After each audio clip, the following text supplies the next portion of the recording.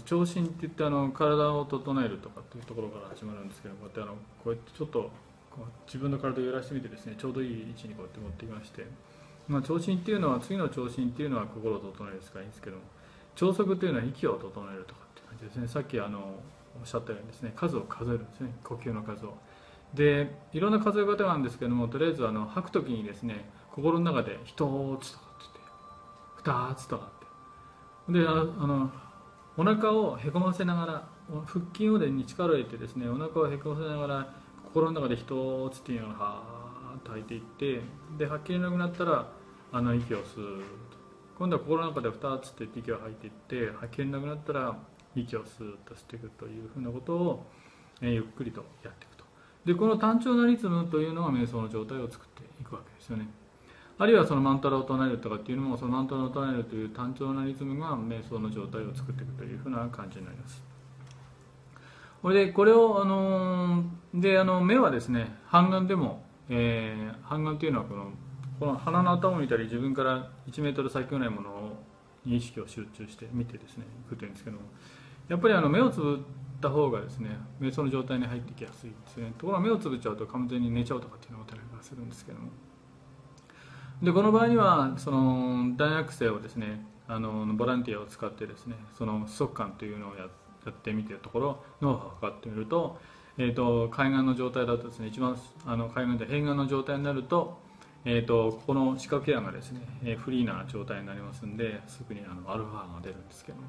でそれでその呼吸をしてますと大体4分ぐらい経つとあの瞑想の状態を示すあのこの速いアルファ波っていうのが出ましてですね。で5分ぐらいするともうちゃんと出てると。